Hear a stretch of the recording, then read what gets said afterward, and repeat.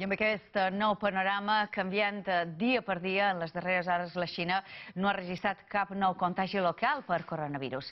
És la primera vegada que passa això des de l'inici del brot. De fet, la Comissió Nacional de Sanitat ha assegurat que els 34 casos que es varen diagnosticar ahir són íntegrament casos importants importats, volien dir, i per tant de viatgers procedents d'altres focus d'infecció. La pandèmia ja s'ha estès a 155 països d'arreu del món, amb més de 219.000 positius, i la xifra de morts a tot el planeta ja supera els 9.000. Mentrestant, a Itàlia, el primer ministre Giuseppe Conte considera inevitable perllongar el bloqueig del país previst ara fins al 3 d'abril.